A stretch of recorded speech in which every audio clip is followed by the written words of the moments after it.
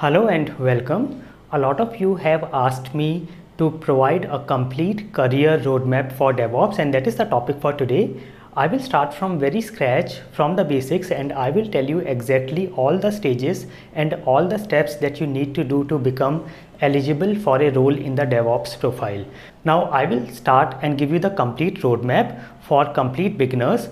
It may happen that you are already into the profile and you have already crossed some of the steps and some of the stages. So you can decide from which step exactly you want to start but I will give you a complete roadmap for a beginner from a beginner's perspective. So let me first start by listing out all the basic stages in a DevOps process. So here when we talk about DevOps, we basically have eight stages, eight basic stages in any DevOps process and it starts with planning. So we have plan, code, build, deploy, release, test, release. So this is configuration management and the operations processes and activities and finally we have monitoring stage. So these are the basic eight stages. Now for every or each of this stage, I will tell you the steps and what exactly you need to learn. So step number one is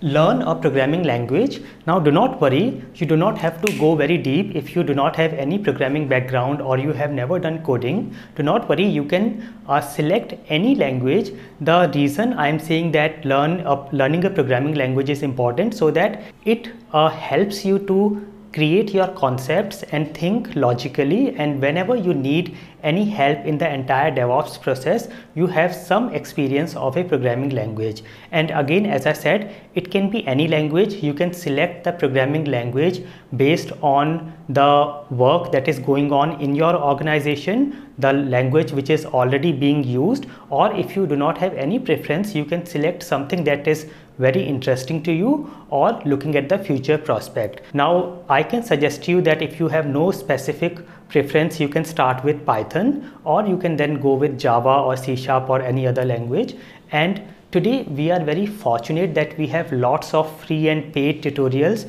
You just have to take any beginner tutorial and learn step by step and you just have to understand the basic concepts. You do not have to go very deep. So learning a programming language is very important and this will cover our planning and coding part. Now, when I talk about planning in DevOps, uh, we can do planning using Excel sheets or we can do planning using some uh, particular, some specific planning softwares, we can use Jira, etc. But if I talk more technically, then you can just start by learning a programming language and that will cover our first two stages. After this,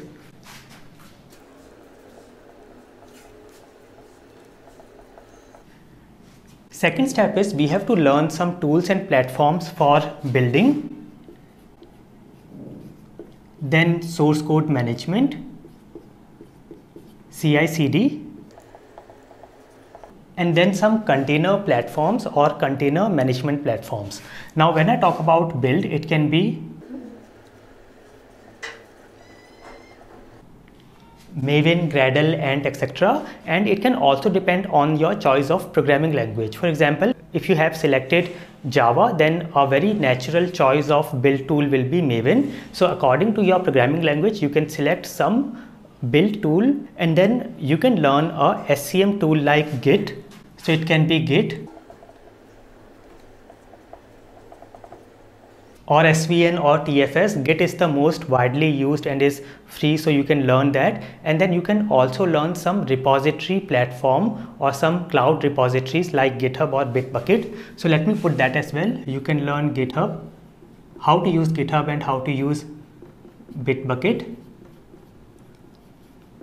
So you can select one from these three, Git, SVN and TFS and then you can select any one from this, GitHub and Bitbucket and again the choice can be based on your organization, your project or if you do not have any particular or specific choice, you can go with Git and GitHub. So you can learn the basics of SCM tools and then CI/CD, you can learn any tool like Jenkins is the most widely used and it is open source. So you can learn Jenkins or Circle CI or there are so many other CI CD tools. And again, the choice may depend on your based on your project or it can be your personal choice or based on the future prospect. You can learn this. And then for containers, you can learn Docker. Docker is a container platform and Kubernetes is a container management platform. Now again, do not worry, you do not have to go very deep. You should just know what are these container platforms, why do we need them, how to use them, and maybe you can do a very simple deployment using a very simple and dummy application and you will find all the tutorials, all the help online. You can also go to my website automationstepbystep.com and you can learn from there or you can find any tutorial, a beginner tutorial and you can learn them. So this is step number two and this covers our build and deploy stages. Now coming to testing stage. Now when we come to uh, testing, the first thing is in a DevOps process, all these processes, all these stages should be automated so that they can be linked with each other. They can be chained, the entire process can be chained and they can run with a trigger. For example, the first process completes and triggers the second process, the second process triggers the third process and so on. And therefore, in testing as well, our testing should be automated. And as a DevOps person, you may not need to actually create the entire automation testing platform, frameworks and all the test cases etc but at least you should have a knowledge on how to integrate the testing process with the rest of the processes and for that you should have a knowledge on how to run your tests or automation test platform from a command line or a CI CD tool so learn how to run tests from command line or CI/CD and that should be enough in the beginning. So this is what you need to know in the testing stage. Now step number four is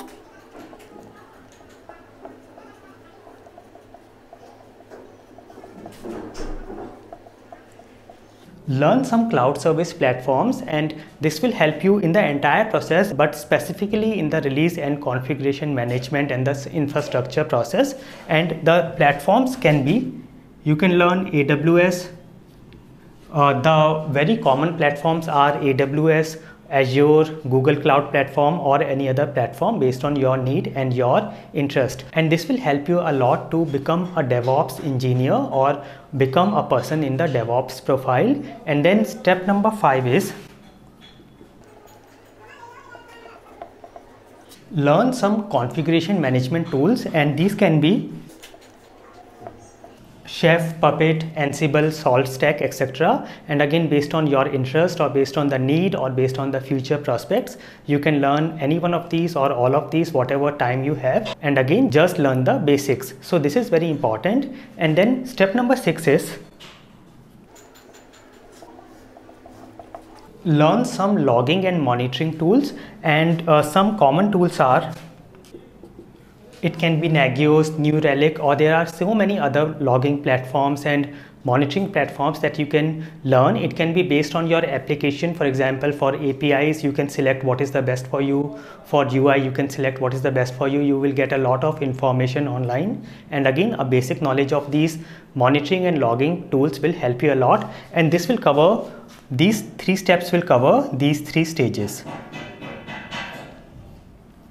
Now, when we talk about DevOps process, based on the product, based on the project, based on the organization, there can be so many other enhancements, changes, updates. For example, you may need to learn some uh, operating system like Linux and go a little bit more deeper. You may want to learn some performance or security testing uh, platforms and tools and you may need to go into the database and learn database testing. So based on the needs, some things will change, but this is a very basic, this is the core, this is what you need to learn to become eligible for a DevOps role, for a DevOps profile. And as I said that as a beginner, you just have to know the basics, the core concepts. You may not have to go very deep. As you start working in a DevOps role, you will understand what more you need to know, where exactly you need to go a little more deeper, and then you will become a very very successful DevOps person. I hope this was useful. Let me know in the comments what more you want to see in the next episode and I will see you soon. Thank you for watching and never stop learning.